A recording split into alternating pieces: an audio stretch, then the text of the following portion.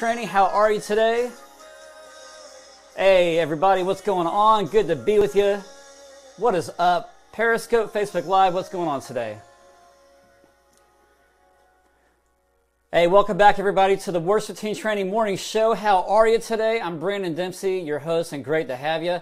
How is your Thursday? Man, we're riding close to Christmas, and uh, hopefully that your Christmas shopping is done. Maybe uh, that's not so much in comparing comparison to your Christmas preparation of services. Don't know. Uh, it's a race, right? So what's up, you guys? Good folks coming in right here. Thanks so much, all you guys coming in on Periscope, Facebook Live. What is up? We have Ben Potts with us. What's going on, Ben? Also, praise him always, and the praiser. We have some good other people coming in on by computer as well. Hope you guys are doing great. Go ahead and take the time right now and share out this broadcast with your friends as you're watching by Periscope, Facebook Live. What's up, Facebook Live people? Hope you guys are doing great as well. And uh, also, those of you that are listening by our audio broadcast. What's up, Cherise on Periscope? Good to see you. If you're listening by audio broadcast, iTunes, Spreaker, thanks so much for that. We really appreciate it. And if you would, uh, by all means, all broadcasts, uh, as we're doing three live at the same time, is pretty crazy. But if you would, please go ahead and share out this broadcast with your friends. Let everybody know what is up and invite them to the show this morning because we're talking about confident vocals. So, what area in your vocals are not so confident? I've been asking this question throughout our morning on both our exclusive page for worship leaders, exclusive exclusive group for worship leaders that is, and you can find that by going to Facebook and typing in Worship Team Training Exclusive Group for Worship Leaders. So it's just for worship leaders only. It's unlike our regular Worship Team Training page. So we've had like about probably over maybe close to 15 that joined us this week. So thanks so much you guys coming in. It's great to see you. We had 12 in one day on Tuesday, so that was fantastic. So again, just go to facebook.com and look for the group Worship Team Training Exclusive Group. Just do that. So thanks so much. And um, I put up a poll this morning and uh, asking, well, actually, I've been putting a poll this past week and another one this morning about asking you guys of uh, what do you think is the most, let, let's say, when it comes to singers and worship leaders, why are they not confident? That was my question. And so we had some people that have answered, and I'm going to read those in just a second. I wanted to uh, thank you guys for coming out. If this is your first time to either watching or listening to broadcast, we say thank you so much. And if you would, please hit the follow button wherever that you're at or like us. That would be a great thing for us. And also, you can give us some hearts. You're watching by Periscope, likes by Facebook, and also like us on our audio. Uh, we broadcast 10 a.m. Tuesdays and Thursdays at Central Time. This, this is for worship leaders, singers, pastors, musicians. Again, my name is Branon Dempsey. I'm a follower of Jesus, and I happen to lead a ministry called worshipteamtraining.com. And what we do, we come to your church, work with your worship team, hands on instruction, like with guitar or vocals, whatever. And also, we have a mentoring program. You can find everything you want to know at worshipteamtraining.com. Also, be sure to sign up for the weekly news, the weekly newsletter. You can get a book while you're at it. That comes with the weekly newsletter. It's uh, when you first sign up just go to worshipteamtraining.com slash enews or worshipteamtraining.com and look for the yellow button and the email field in the upper right hand corner. Be sure to sign up and get your weekly news. Uh, we had this past week in our weekly news, we launched off the brand new book that I had written called The Gift and the Giver. So I am putting that up right now. Miss Royal, what's up? Sharice, what's up? Fantastic people coming in right now on Periscope. Thanks so much. You can get the new book. Thanks, Ben. Good to see you, bro, on Facebook Live. Uh, the new book is called The Gift and the Giver, and you can find that actually. What's up, Cherise? You can find the new book at worshipteamtraining.com slash The Gift and the Giver. It's, it's not a uh, fancy uh, landing page name. The Gift and the Giver. You can find our books right now on Logos Bibles, Faithlife. That's who we are selling through. So it's a pleasure to be with them. We're also going to be connected with the brand new Faithlife groups, and that is going to be exciting. So if you also will open up another device or uh, you can do that later on, be sure to check out our new group on Logos Bibles and Faithlife groups. Uh, you can, I just put up the link just now on Facebook, and also I'm hitting you guys up right now on Twitter, and you can search for that. Uh, basically, it's a brand new group that we have started on Faithlife, and I'm going to be talking about them from time to time coming up because they got some fantastic things coming. Uh, they put out the software called Proclaim uh, Lyric, or uh, I'm sorry, Proclaim presentation software, and it does display lyrics as well as sermons and everything else. We use it in our church. Uh, there's a, the thousands and thousands of people use this program. I find it very user friendly. I'm going to do a review on that coming up on another show, but it's a, a, great, great product. They also, of course, put out their other Bible apps that you can find everything at faithlife.com. So I just shot out the link to you on Twitter and also Facebook. So be sure to check that out and join the group because we're having about in the tens and tens of thousands of people are going to be joining it as well. So it's going to be putting us up to a new level and we're very, very excited about that. Thank you guys for being a part of it because you guys are like the charter members of everything. So awesome. So thanks so much. Periscope, Facebook Live, TD Songs, Terry Davis, what's up? Good to see you, brother. Uh, who else is on the cast right now? Please go ahead and share this out. So the question today, the question of the day is why do you think your singers or worship leaders, why are they not confident in their voices? Let us know. We've been asking that question. I'm going to read some responses in just a second. Let me hear from you. Go ahead, please type in your comment into the window. You can do that right now. Periscope, Facebook Live, iTunes. I, that was kind of a weird, almost British accent came out, and I'm not British. Um, and I'm not even going to try either because we have friends across the pond that watch these broadcasts and they laugh every time when I try to do something amazing like that, and I won't. So, uh, look, you got this question when you look into your worship leaders and singers' eyes, they have the deer in the headlights question mark. What do I do? Why do you think they're not confident? Talk to us. Come on, Periscope, Facebook Live, let us know what's up. If you're listening by audio, type in the comment at the nearest comment box that you can find right there. So we got one response coming um, right now from Joe Graham. And Joe is a member of our exclusive group for worship leaders. Thanks so much, Joe, for joining us on Facebook and he says this number one, wow, he's got points. Okay, so I'm going to have to open up the little link that says see more. Yikes. He's got three of them. You ready? Okay, and I'm going to share mine about how we can become confident. All right, we're talking about the things right now of what makes singers or worship leaders underconfident, right? And that could be you, I don't know. Uh, Joe Graham says number one, they don't like the sound of their own voice. Ooh, Okay, Terry on Periscope just says, not sure of the music or lyrics. What? Are you kidding me? Come on. Every singer knows their lyrics, right? Joe says this, they don't like the sound of their own voice. Man, isn't that the truth? Okay. Who agrees here? Periscope, Facebook Live, who agrees? They don't like the sound of their voice. I know it took me years, or nada. See, Terry is responding. Thanks so much, Terry.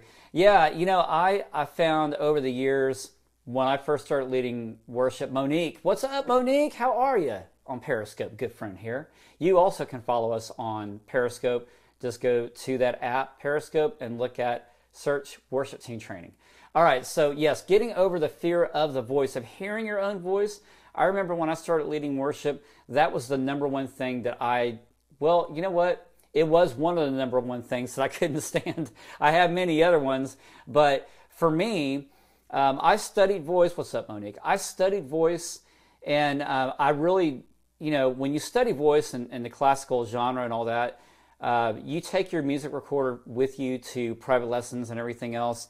But it never occurred to me about not hearing the sound of my voice until when I started actual studio recording and live uh, music. That's when I became conscious of my voice.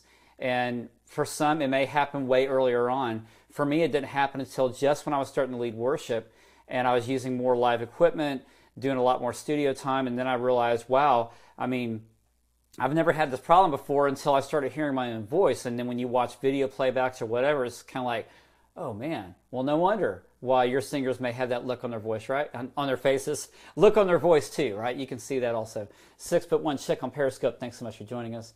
Uh, yeah, so I mean, I, I dig that. You know, Joe, I'm with you. Uh, he says, number two, I got more comments to read, and so type in your own right now. The things that you feel make your worship leader, that could be you, or singers, underconfident. And then I'm going to talk about how you can be confident in, in just a moment. Number two, Joe says on Facebook, on our exclusive group for worship leaders, he says, they've been taught that worship is not a place to show off. Well said. You should not draw attention to yourself. You should be humble, right? So they are afraid to belt out or really express themselves. Okay, we don't belt here at Worship Team Training, but I know what he means. All the successful girl worship leaders I've seen have not been afraid to be a bit of diva. I've seen so many girls comparing themselves. Yeah, okay, Miss Royal says comparing themselves to other singers. Yes, that will make you underconfident. Okay, so Joe goes on to say, I've seen others, other girls be a bit of a diva. Um, they have fun with their friends, belting out, sound great. Then comes Sunday morning, they sound like a mouse. Okay, wow. So we have this discrepancy, right? A change from rehearsal and Sunday worship. Do you see that difference? I do. I see it in my musicians. They're like, yeah, they're like a mouse. Well said. I like that, Joe. Joe, I hope you're watching the live show because I'm doing this for you, man. Joe Graham. All right, number three, fear of judgment. Wow, now that is huge. Yeah. Are they judging me? Don't judge. Don't be judging me. Do they not like the diva in me? They don't like the sound of my voice. They don't like what I'm wearing. They think I shouldn't be here. They don't like the song. Okay, many of you right now are probably shaking your heads up and down in agreement, like, yeah, uh huh, I've been there before. Uh, maybe that was me this past Sunday. Maybe that's me right now. Yeah, I mean, every time we lead worship, even myself, I, I'm thinking sometimes of, wow, is this song really coming across to people? Is it really hitting where it needs to be? And that's not where my mind should be going. Okay, so let's talk about that. What are your thoughts? Periscope, Facebook Live, let us know. Hey, by the way, all you guys watching and listening, I am thinking we are moving to a new time. Yes. So the new time of our show will be at 11 a.m. Central Standard. I asked last week what you like better, 10 a.m. or 11 a.m. And 11 a.m. Central Standard Time, people say please so they win. So the majority says 11 a.m. So starting the first of the year, our shows will be coming at you at 11 a.m. Central. All right, we got another comment coming up. Uh, Tabrina Washington Hall says this: why she thinks people are underconfident. The enemy is aware of the power of worship, so he uses fear, insecurities, and even pride. Oh, come on, not pride, right? Even pride to prevent a lead singer from being confident and who they are in Christ. Wow, couldn't be more true. I mean, all the feelings that even Joe said, his, his three points. Yeah, um, I think that God, you, you know, God is aware of what we go through as human and wants us to rely on Him and not the enemy, the insecurities. Not that we rely on Him, but I mean, sometimes we kind of do rely on self, right? Thinking, well, yeah, I need to get this right, or I can do this. No, you can't do this. That's what I was saying on Snapchat this morning. You can only do this through Christ Jesus. All these things. So, yeah, the enemy is after us, you bet. I mean, my pastor and I were talking about this last night. Even when it comes to Christmas services, we had our Advent service last night. And we get so busy in everything that we just lose the joy. So, that could be one. You lose the joy in, in leading worship or singing because the enemy is present. Yeah, but you know what? God is bigger than this. All right, so Nathaniel's Nathaniel. I'm sorry, I said his name by plural. That was not correct. I'm sorry. There's only one of him. You don't want two or three or more of yourself, right? I know I don't. All right, so Nathaniel, forgive me, Nathaniel Paredes says when worship becomes performance, we become more focused on playing the right notes, singing the right words, keeping temp- tempo, etc. I've done a lot of sets where the singers don't know the songs they fix their eyes on the back of the screen, sing quietly so as they make mistakes less obvious. Uh, the only way to defeat this is by first realizing that worship is a means to lead people to the throne. Second, practice, practice, practice, and please don't show up on the day not knowing the songs. Terry, that goes back to what you said. Couldn't be more true. Thanks so much, Nathaniel. Yeah, I mean, we have to be in worship first before we can ever think that we can lead others in worship second. Is that right? And then absolutely practice, practice, practice. I mean, the more and more that you know your music, the less and less you're going to take a fall. Mistakes will happen, but you'll have a better understanding of how to recover and where to go from there. And so that's what I re- uh, rely on. If I don't practice a song before rehearsal, it's my fault. It's nobody else's. I can't say, well, the drummer didn't get his part right and his t- timing threw me off. Nah, no, I don't think so. As much as we may want to blame other people, it starts with you, it starts with me.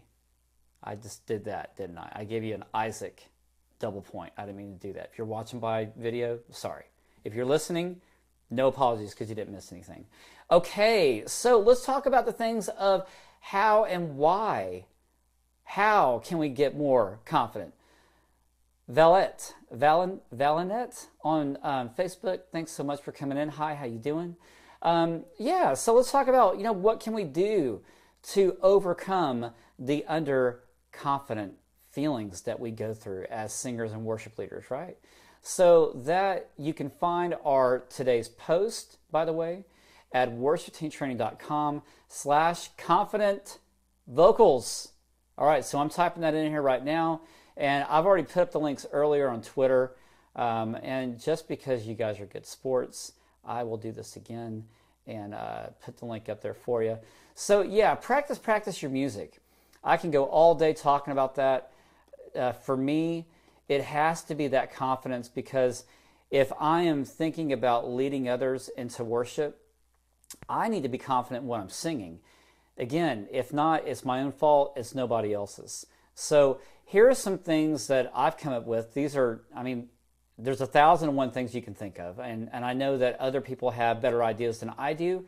And if that's the case, share them out. Type them in the comment window because we'll never know if you don't say anything.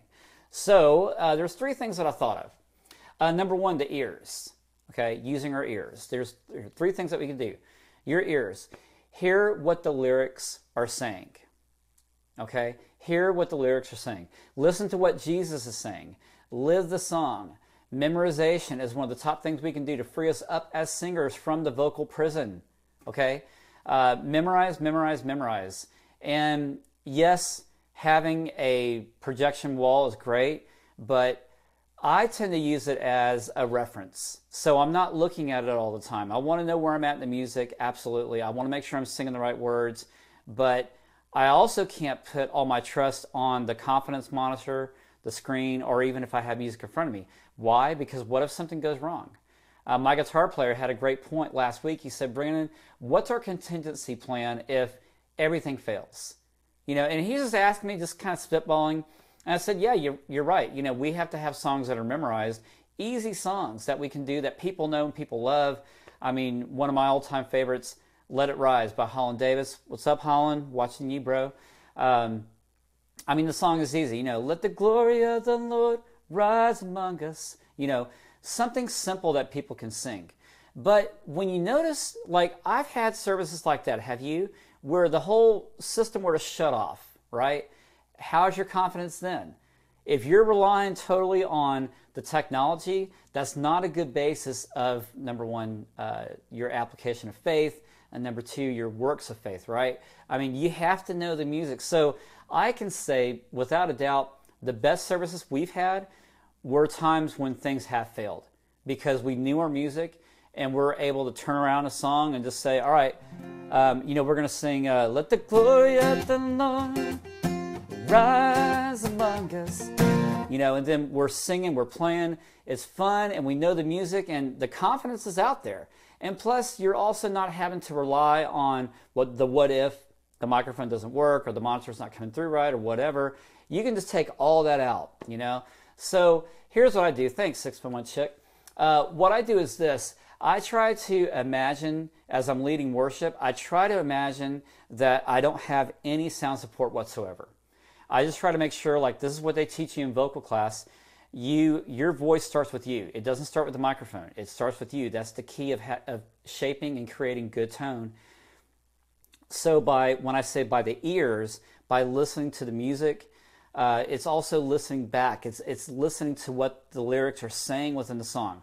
Uh, like let it rise. I love that song because it's so simple And it, from the bottom of my heart, you know, praise should come out, let it rise. I mean, I think about the song, think about the words that you're singing. Are they believable to people? I mean, that's, you know, kind of one on one, but it's, it's simple truth, right? Uh, God does not require sacrifice, but only a contrite heart. So, number two, uh, things that you can help overcome and growing your confidence. Number two, your eyes. Making sure that you are watching the congregation. Don't bury your eyes in the music. Don't bury your eyes into the floor or into the monitor. I've seen and heard so many great singers that they shut off, and this what this goes back to uh, uh, the couple of points what guys were making at the top of the broadcast today were, were the, the, the discrepancy from rehearsal to leading worship, right? It all changes because you, you feel great in rehearsal, nobody's there watching you, but then when it comes in front, when, when you're in front of people, everything changes. You have to get used to standing in front of others, like it or not. If you're going to be on the vocal team, you're going to be in the band, you cannot say to the worship leader, yeah, but you know what? I, I like to just sit on that that, that back stool back over there, maybe behind the curtain. I had a guitar player say that to me. This was years and years ago. He said, Branon, I love playing guitar, but I do my best playing when I'm behind a curtain. Nobody can see me. And then I said, you know what? Uh, you make the perfect means for being a studio musician. And that's the truth. But I was, I encouraged him and I said, you know what? Throughout our relationship, and as he served on the team, I started kind of peeling away a little bit of that curtain uh, week after week. And then finally, yeah, then he got to be more confident with his playing. Singers, the same thing. I mean, like, you know, singers are afraid of making a mistake, right? And then their eyes go as big as saucers, right? That's the worst thing you can do. Don't draw attention to yourself in that negative way. But look, if you make a mistake, so what? If you know the music well enough, then you should be able to pull it off. It's not a big deal. So, you know, we've been talking about the song a little bit, the new song by Noel. I'm sorry, not by Noel. uh, Lauren Daigle, uh, Chris Tomlin's new release, Noel, uh, a fantastic song. I love it. And when you listen to the words, you know, uh, Terry says this on Periscope. He says, "Sing on, lead on, even if the congregation doesn't get with you." Yeah, I mean, you gotta, you know, you never know. You may walk into a service and people are just not usually ready to worship. That's our job is to help them, right? And then when they're in a spirit of worship, keep going, you know, but keep your eyes up and out. That's what I was saying. That's the number two point. Um, you know, when I think about, thanks, six, six for one chick and, and Terry, uh, Periscope. When I think about this new song, Noel, um, you know, it's I'm doing this in the key of F. The original is a key of D flat for women, so I'm putting it up a little bit in my range uh, because this is perfect for altos uh, in the key of D flat. So I'm raising it just a bit for tenor voices. Now I love the song. Uh, this is a song that she was speaking of last week. That's so funny. Six foot, six foot one chick. Yeah, it's a great, great song. Um, you know, it's got love incarnate, love divine. That's our lyric line right there. Starving angels gave the sign. Bow to babe on bended knee the Savior of humanity. Now, those words right there, the Savior of humanity. Low notes, but you have to sing those just as confident as you do the higher ones, right? Um, Unto us a child is born, he shall reign forevermore. Right? Chorus. Noel. Noel. Come and see what God has done. Noel. Noel. Right? You have these higher notes like that. And so, what's great about that song is that when you, even when you listen and, and watch uh, Lauren as she sings this beautiful song, uh, you can find this track actually on guytracks.co, and it's great. But the, the chorus, I mean, it just rings out. You know, I mean, she's believing in what she's singing. She's listening to the lyrical line. I mean, we're singing about the. I mean, look at the lyric. Noel, Noel, come and see what God has done. I mean, that's such a such a powerful statement. You know, you should sing that with power, right? Noel, Noel, come and see what God has done. Right? Noel, Noel, the story of amazing love, the light of the world given for us. Right? So it's a beautiful, beautiful song. Uh, so yeah, so again, we talked about the two points using your ears, listening to the lyric, using your eyes, keeping your eyes up and out. So number three, the third point, hands and heart. Now I know I'm playing guitar right now, but if I was leading without guitar and I was just singing, use your hands and, and a gesture of an act of worship. Don't use your hands to showboat or to point to the crowd or point the mic to the crowd. Don't do that. But what I mean is, worship is a response, and singing is no different. So we respond to God with our voices. We respond to God in lifting our hands. It's biblical. When you read the Psalms and read throughout the story life of David, how he uh, stretched out his hands in a weary and dry land, uh, also stretched his hands out at night. I mean, these are all biblical. Uh, 1 Timothy 2 8 says, In every place of worship, I want men to pray with holy hands, women too. Lift it up to God. Why don't we do this in leading worship? Are we afraid that people may think you're a fanatic? Uh, you know, don't stand next to somebody and, and point in their way and, you know, poke their eye out. But, you know, I mean, lifting of the hands and, and worshiping, the lifting of our voices, right? uh, singing, you know, Noel, Noel. You know, you're, you're lifting up that song. I mean, it should be the same thing with, with your body, with your hands, and um, our spirits. So, this song, any song, should come alive. And I mean, when you are listening, paying attention, watching, you know the music, your hands, your heart is free, you've practiced, you've done all these things, then actually leading worship and singing to God is your normal daily service response, right? What what uh, Paul tells us in Romans 12. And actually, it's kind of a leading worship becomes almost the uh, the natural response itself because you are naturally responding to God, and everything else should take shape the way it is. It's not worked up. There is no magic bullet. There's no science. There's no, oh, I got to get this right. Um, if those things are the case, then maybe you, you, got some homework to do. But simply being, worship is response, and our response to God should be greater than what it is in the black and white. That's my two cents. So I hope that today's broadcast encouraged you. I hope that it's something that you can um, walk away with and feel encouraged and feel confident the next time you lead worship. Take this when you lead worship this coming Sunday.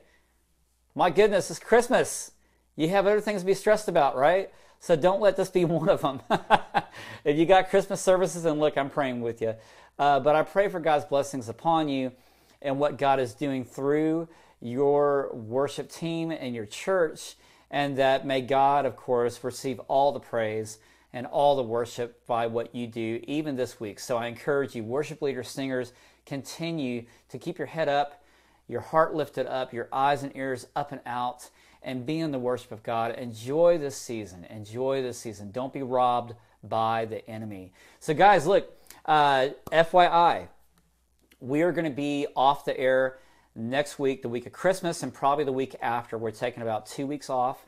Uh, so we will come back at you on the 1st of January. So we have a lot of things lined up. I can't wait. We got more webinars coming. We have more Hangout guests coming. That's podcast guests, that is. And we have more topics on worship, on vocals, on instruments. I can't wait. Our guys are working very, very hard. Scott Hussey at GuyTracks.co. Please be sure to see him. Also, be sure to check out the new book, The Gift and the Giver. You can find that at worshipteamtraining.com slash the gift and the giver. And coming up, I mean, my vocals almost screeched when I said that. And we have our second new book coming out, the first of the year. Are you ready for this? The big, big news, big, big news. The title of the, the title of the new book is called The Journey of the Worshipper. I can't wait. The Journey of the Worshiper is coming out on Logos Bibles Faithlife, and you will hear it here first, and we'll put the links out on the site. You'll still find all of our articles throughout this week, next week, and the week after during Christmas as well. But you'll get the new link and in the newsletter. If you sign up for the newsletter, you'll also get the link when the new book comes out as well. So please check that out. All right, so we'll see you guys soon. Be sure to check us back at everything that you can find at worshipteamtraining.com. Love you guys. Have a fantastic week, and we will see you the first of the year. So until then, Merry Christmas, Happy New Year, and we'll see you guys very, very soon. Thanks so much. See ya.